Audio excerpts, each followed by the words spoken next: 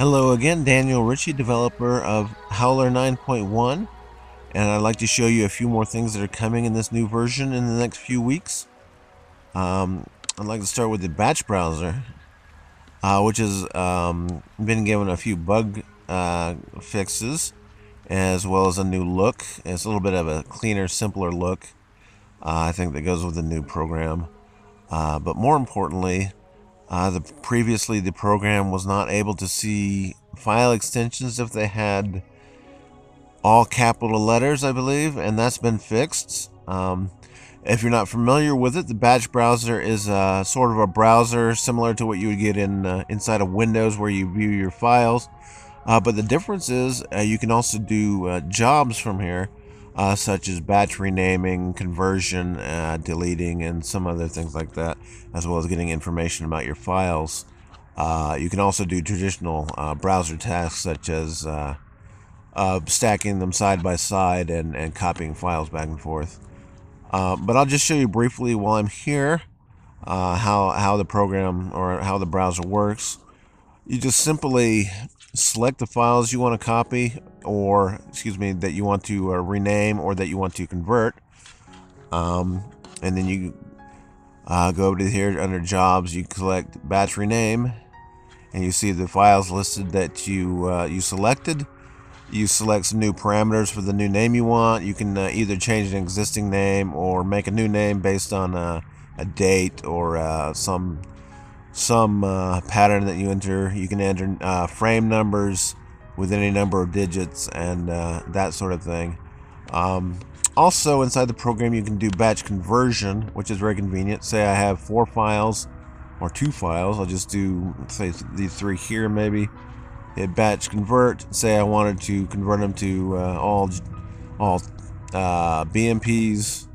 I just hit convert and that would do the job or alternately I can convert them to and move them to a new folder by specifying that uh, parameter there. Um, and basically that's the batch browser. It lets you visually do some jobs that you would have to do through just uh, lists of uh, file names uh, previously um, or in other programs. But it's just more of a visual way of doing it. Uh, lots of controls lots of options for changing file names and that sort of thing is very quick and easy to use uh, so we're we're happy to make some bug fixes and changes in the back batch browser. Um, another change that's coming in uh, Howler 9.1 is uh, under the uh, print uh, option here. Is there are some new options? You can, uh, of course, use the existing print panel. We've never claimed really to be the world's greatest printing program. We're really just a paint program, and we we uh, we have not concentrated terribly hard on uh, printing. We do realize we could use some uh, improvements in that uh, that area, and we plan to do so eventually. Uh, possibly not for this version, but we have added some options that will make it easier to work with. Nonetheless, uh, one is the printing with the associated print program basically whatever program you've associated uh, with uh, print jobs will be brought up with the existing image. And in, in this case it's uh, looks like the Microsoft uh, default uh, printing program which is actually pretty good I have to admit. It'll do all the basics and also let you create some uh, some various options such as wallet size and things like that um, you, you can fit to a picture, make a number of copies, and pretty much anything you'd really want to do, uh, unless you're doing really high-level professional work. Also, there is a uh, associated image viewer, uh, whichever image viewer you have associated with uh, a BMP file will receive a copy of this, and you can go from there. Uh, it's just a sort of a shortcut of uh, instead of having to load it into another program. In this case, I have View, which is a, a, an incredibly popular image viewer. Uh, it is also free. It's very powerful. Um, I don't think you'll find a professional out there who doesn't have it probably installed on their machine somewhere, uh, and you probably uses it every day. Uh, it does have a fairly comprehensive set of print features. You can uh, change the portrait and landscape, rotate, and best fit to the page, and a lot of stuff I've never even looked at. A number of copies, and really uh, quite a few options for printing. And um, again, View Uh, Google it and you'll find it uh, real easy. Uh, very popular download for viewing uh, various types of image files. Um, but I would also like to cover while I'm talking to you uh, one other feature that I did not cover in my previous vid video, which was um, the new, let's see, the new fill settings panel. Let me clear the monkey. I'm sure you've been only watching the monkey and not listening to what I'm talking to, talking about. But uh, we do have a new. Uh, it's hard to take your eyes off that monkey. Anyways, we do have a new uh, fill settings panel. I just felt that the uh, the old version has been with us a long time, and it looked kind of archaic. Something uh, was just maybe a little too Amiga, uh, a little too old-fashioned. and needed to be updated. But um, we didn't just want to move buttons around, we also wanted to improve the functionality of it. Um, so, sticking with our uh, our uh, our theme of uh, improving uh, interactivity and uh, what you see is what you get, we've added a, a thumbnail preview of your fill settings. And uh, we've also given it a layout that's more consistent with our other tools which is a little more vertical. And uh, we've used a, a, a, larger text where you can see uh, can read it a little more clearly and uh, that sort of thing. So I'll just uh, use a fill uh, fill tool over here of some sort as you can see that's just our basic plain color um, if you select the color over there it is um, you can see it. The changes take place in real time on the field settings plan and panel. Um, if you select the pattern, uh, in fact, let me close that. There is one other th change I would like to show you. If you select a pattern, well, let me free this brush so I can show you this feature. Just free this pattern. Let's see, under brush, free, right here. Now, previously, if you clicked on one of these buttons, it would bring up a uh, a modal dialog error panel, and you'd have to click OK to get rid of it if you did not have a, uh, a brush or a pattern loaded there. Uh, and that was kind of annoying. So we knew we now have a new uh, non-modal error panel. It doesn't get in your way, but it does still give you some information. It says, uh, let me do that again. It says no custom brush. The pattern is defined by a custom brush. It just gives, tells you what happened without uh, forcing you to say um, click OK. It's just a, a, one one more way that we were, were trying to uh, speed up the interface um, and, and make it less annoying to users. Um, you still get the information, but it doesn't really bother you about it. It's not mission critical that you click on OK. Um, that was just a little error message that came up if you did not have a pattern selected uh, it wasn't really worth stopping the user uh, in his tracks to tell him that. Uh, so I'm going to select a pattern, this nice one here. And as you can see, there's a preview up at the top of what your pattern is going to look like. Um, say I had uh, changed the opacity, you would see that uh, reflected in that thumbnail. Or if I had changed this, uh, this dither, that gives a little bit of random noise, you'd see that reflected as well. Um, also, if I had selected a mode, like multiply mode, you would now see that reflected up there. Um, more importantly, it'll show you uh, uh, that's the pattern fill, but there's also these warp modes that'll give you an idea of what these warp modes are doing, uh, how they're filling a shape.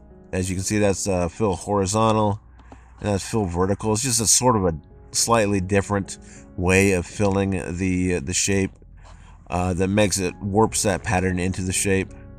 Uh, I'll draw a brush over here. You can see that. And I'll draw one with that warp, or excuse me, the warp horizontal. And you can see that is just slightly different. And it gives you a preview before you commit to anything of uh, what you're going to be drawing. Same with gradients. I'll select these gradients down here. Let me get a little more interesting. Uh, Oh, this is another thing that's changed. I'll have to talk about that as well. Um, but as you can see, that's just a straight gradient going from one side to the other. But we can warp warp that into that shape. It will actually, whoops, wrong, wrong one again. actually conform to the shape. And it gets really interesting if you're using a custom shape. I'll draw something here. And it can get really interesting when you use these custom shapes. Hit fill selection and uh, as you can see that that conforms to the shape that you just drew. Um, if I had drawn a shape that was more like this, it might be better to use a different uh, warp uh, vertical instead of warp horizontal. Would probably fill that a little bit better. So as you can see, uh, that preview really helps you see what you're going to get uh, before you commit to it. Um, and that is the fill settings panel. Um, a few other little things I'd like to show you while I'm here and I'm just about ready to sign out. But one little change we've made is in uh, this gradient panel uh, now opens much quicker. It was uh, it would bring up an hourglass before as it loaded all these little thumbnail images, and that has been uh, uh, at least seemingly sped up quite a bit. Um, and uh, once once this panel's closed, it stays. So next time you bring it up, it will it'll come up much quicker. It stays stays resident where previously it was unloaded and had to be loaded again. And uh, even that initial loading is a much quicker. And uh, same with uh, lens flares on the this uh, effects tool. Uh, it loads up much quicker. You don't see that hourglass very long at all anymore.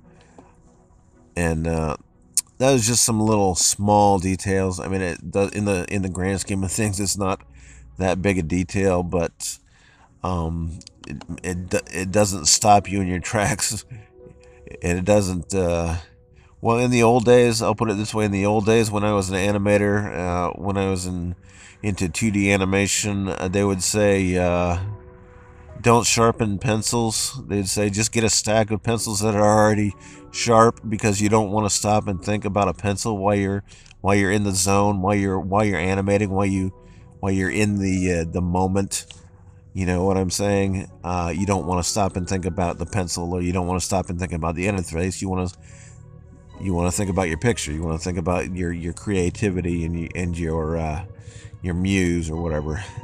So it's just getting rid of these these little annoyances really helps you stay focused on your work uh, instead of um, on the quirks of the interface. Um, and uh, speaking of gradients, we did uh, make one more bug fix here under uh, the gradients. Some of these uh, files were originally saved in the .NET framework version of our gradient editor, which was later ported to uh, to be internalized, and it left a small incompatibility. Uh, so we've gone through all these files and resaved them under the the newer gradient editor, um, and it's just it, it would sometimes manifest in a a small, uh, you could a noticeable. There'd be like one, one pixel of color of the wrong color in there sometimes, or maybe two, and uh, that has all been sorted out now, and you won't see that anymore. Uh, just some of the small things we're doing again. Uh, and uh, I'm going to wrap up again, but I, I, thank you for listening. And uh, Howler 9.1's coming in the next few weeks in December, probably. Hope to hear from you. We love feedback from our users. We'd love to hear what you're doing with the program. Um, if you've not, uh, if you're not a user, you can uh, always purchase Howler 9 on uh, thebest3d.com or uh, .com or on my personal website at uh, squirreldome.com.